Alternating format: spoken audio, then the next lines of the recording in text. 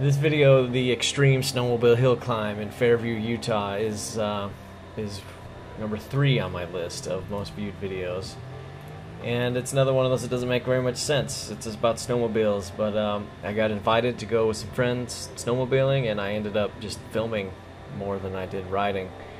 Uh, it's hard to tell. It's always hard to tell how steep something is in a video, but what these guys are riding up is is dang near vertical and uh, you can see when they launch off the top of this little cliff that uh, it gets rough.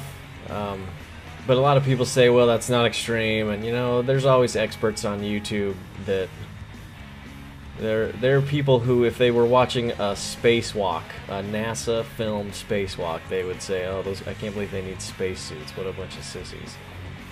But that's life on YouTube for you.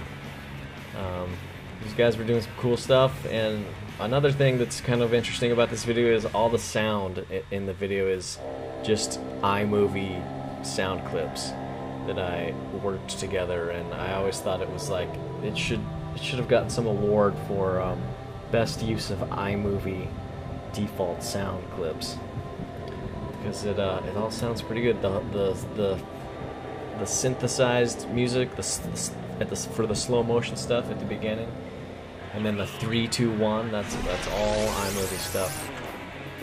This is in uh, Fairview, Utah. It's a very popular snowmobiling place. They get a ton of snow up there, and uh, had a good time.